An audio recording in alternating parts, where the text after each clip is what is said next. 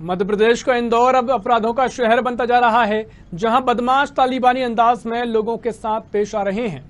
पूरा मामला इंदौर के पश्चिमी इलाके का है, जहाँ अन्नपूर्णा थाना इलाके में अवैध शराब का कारोबार करने वाले चार बदमाशों ने युवक को निर्वस्त्र कर उसके साथ मारपीट की। इतना ही नहीं 21 साल के पीड़ित युवक को बदमाशों ने एफआईआर न कराने के लिए पिस्टल और चाकू की नोक पर धमकाया। वहीं मारपीट में घायल हुए युवक के माने तो बदमाश उससे इसलिए विवाद कर रहे थे क्योंकि उसकी बहन की शादी कहीं और हो गई है, जबकि बदमाशों में से कोई उसकी बहन से शादी करना चाहता था। साथ ही बताया कि उसके पास रखे दस हज़ार रुपए और उसका मोबाइल भी बदमाश ले गए।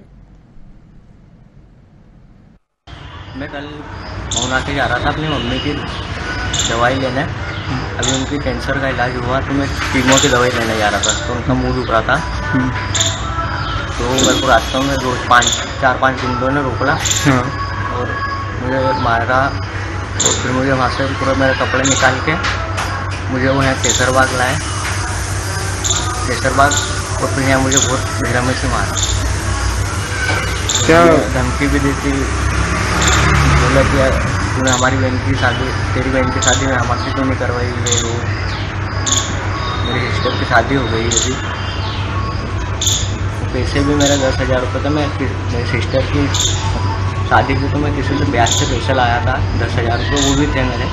वो भी निकाल लिए उनने पूरे मोबाइल में फोड़ दिया गाड़ी भी फोड़ दी। तो एक फरियादी आकाश ने थाने में रिपोर्ट की है कि उसके साथ चार लोगों ने मिलकर मारपीट की है। नितिन गावनिया अभिषेक इंगले, लल्ला और कालू ने मिलकर घटना का कारण स्पष्ट वो बता नहीं पाया रात को। अभी इसकी पूरी जाँच की जाएगी। आरोपियों को पकड़ने के लिए हमने टीम भेजी, लेकिन आरोपी घर से फरार है। वो जल्दी उनको पकड़ लेंगे। मामला अनुसंधान करके मामले में लगा देंगे रायपुर में एमएसएमई डेवलपमेंट